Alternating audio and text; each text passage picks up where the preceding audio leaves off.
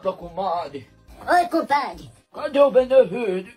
Ah, o Benevito foi pra feira. Ah, sim, comadre. Aproveitando que ele não tá aqui.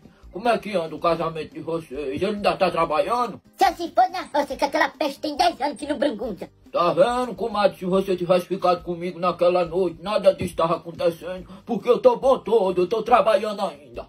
Ainda tá funcionando.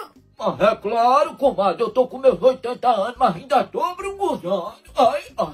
Eu tô passada. Vamos aproveitar, comadre, que ele não tá aqui dar uma escapadinha. É, não faz mal não, né? Uma vez na vida eu tá na moto, a gente dá uma puladinha de cerca. Vem aqui, me dê um beijinho, ai. Mas já pode dar perto essa? Ai, compadre. Você tava querendo se beijar, é isso mesmo? Então, Letina, me explica essa história. Ai, eu já vou me. Ai, ai, deixa de ser besta, que não é nada disso que tu tá pensando. Nós tava era subiando. Ah, subiano. Não, eu tava pensando que era outra coisa.